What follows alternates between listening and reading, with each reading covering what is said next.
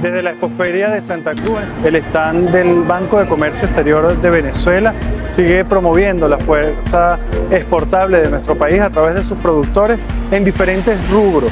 Es un éxito esta participación que se organiza desde el gobierno bolivariano del presidente Nicolás Maduro Moros y sigue proyectando al mundo y particularmente al público boliviano y de América del Sur todo lo que tiene Venezuela para ofrecer a los vecinos desde nuestros destinos turísticos hasta las producciones en el café, en el ron, en el cacao, en el calzado,